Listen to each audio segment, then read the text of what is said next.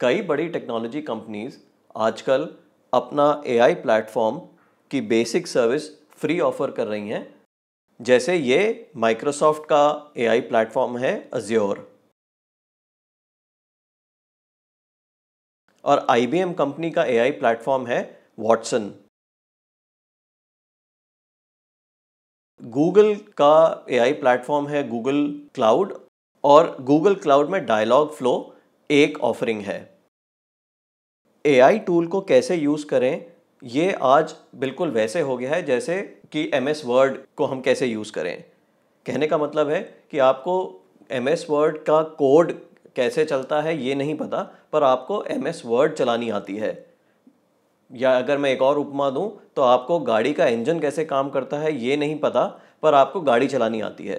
तो बिल्कुल वैसे ही आज के दिन बहुत यूज़फुल स्किल है कि हम एआई प्लेटफॉर्म्स जो ये बड़ी कंपनीज़ फ्री में ऑफ़र कर रही हैं, हम इनको यूज़ करना सीखें। आर्टिफिशियल इंटेलिजेंस और मशीन लर्निंग के बारे में सीखने का आज एक अच्छा तरीका है ये सॉफ्टवेयर जिसका नाम है Cognimates Cognimates software MIT media lab ने बनाई है और एमआईटी मीडिया लैब ने ही स्क्रैच जो सॉफ्टवेयर है, वो भी उन्होंने ही बनाई है। तो कॉग्निमेट्स एक्चुअली स्क्रैच के ऊपर एक लेयर है, जो कि स्क्रैच में एआई और मशीन लर्निंग सीखने की एक अपॉर्चुनिटी देता है। इस वीडियो में हम कॉग्निमेट्स प्लेटफॉर्म को यूज़ करना सीखेंगे।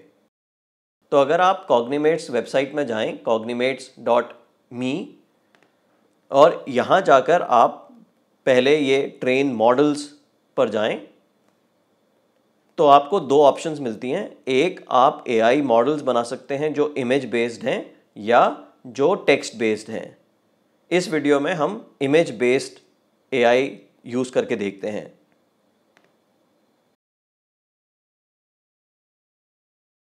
तो हम एक सिंपल सा प्रोग्राम बनाते हैं कि कैट्स वर्सेस डॉग्स यानी हम इस प्लेटफॉर्म में कुछ कैट्स और डॉग्स की फ़ोटोग्राफ्स अपलोड करेंगे और फिर ये कॉग्निमेट्स जो प्लेटफॉर्म है, ये एक और ए आई क्लैरिफाई नाम की एक विजन ए आई सर्विस को यूज़ करते हुए एक मॉडल को ट्रेन करेगा, जो कि बेस्ड ऑन हमने जो इमेजेस कैट्स और डॉग्स की डाली हैं, वो मॉडल ट्रेन हो जाएगा।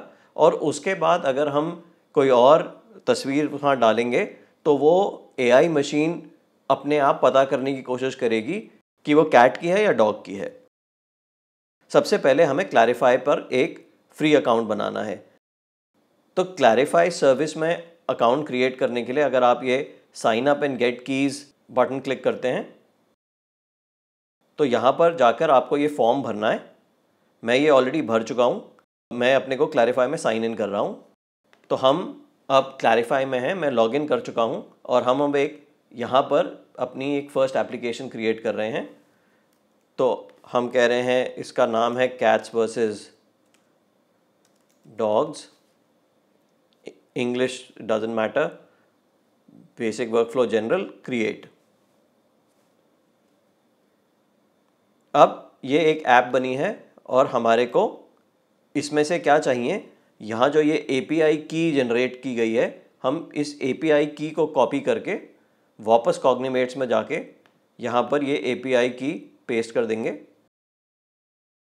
और ये हमें बोल रहा है कि एपीआई की सेट फिर यहाँ पर हमारे को अब अपना एक मशीन लर्निंग का मॉडल बनाना है, जो कि फिर क्लैरिफाई सर्विस को यूज़ करते हुए वो मॉडल ट्रेन होगा। तो हमें इसमें कैटेगरीज डिफाइन करनी है। तो हम पहली कैटेगरी बना रहे हैं कैट्स और दूसरी कैटेगरी बना रहे हैं डॉग्स मैंने इंटरनेट से कुछ कैट्स और डॉग्स की इमेजेस डाउनलोड करी हैं और अब मैं उनको इसमें ऐड कर रहा हूँ।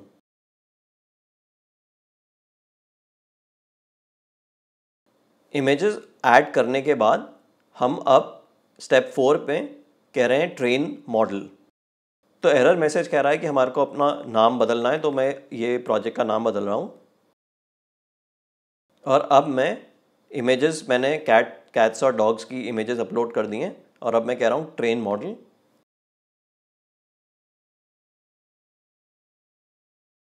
तो अब ये मॉडल ट्रेंड एंड रेडी है तो हम पहले यहीं पर इसको टेस्ट करके देख सकते हैं। मॉडल टेस्ट करने के लिए हम एक पिक्चर डालेंगे जो हमने अपने टेस्ट केस में नहीं डाली थी, ताकि हमें पता चले कि हमारा मॉडल रिकग्नाइज कर पा रहा है कि नहीं।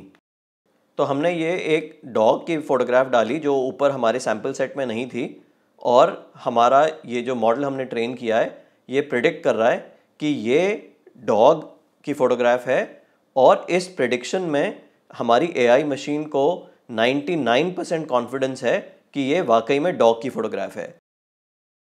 जो एआई मशीन्स हैं, वो कॉन्फिडेंस लेवल पे काम करती हैं विच मीन्स कि अगर हमने कोई इमेज इसमें डाली जो कि ना कैट की है, ना डॉग की है, और अभी हम टेस्ट करके देख लेंगे तो वो उसको किसी कैटेगरी में फिट करने की कोशिश करेगा ये मॉडल पर वो कहेगा कि उसका कॉन्फिडेंस स्कोर बहुत कम है। तो अब हम टेस्ट करने के लिए यहाँ पर एक लायन की फ़ोटोग्राफ डाल रहे हैं।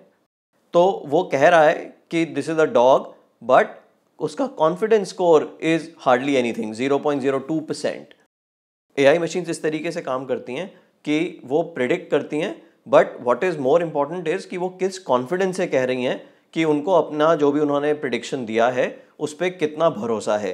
तो हम प्रोग्राम के अंदर इस तरीके की चीज़ यूज़ कर सकते हैं कि हम कहें कि केवल अगर कॉन्फिडेंस जो है वो लेट्स से 90 परसेंट से ऊपर है, तब उस रिज़ल्ट को यूज़ करना। अगर 90 परसेंट से लोअर है या 80 परसेंट से लोअर है तो उस उस रिज़ल्ट को मत यूज़ करना बिकॉज़ हम कॉन्फिडेंट नहीं हैं कि वो एआई हमारे एआई मॉडल ने ठीक तरीके से काम किया है कि नहीं। तो अब हमारा ये जो मॉडल है, ये तैयार हो गया है। तो अब हम इसको जो कॉग्निमेट्स का कोड लैब है, वहाँ जाके यूज़ कर सकते हैं।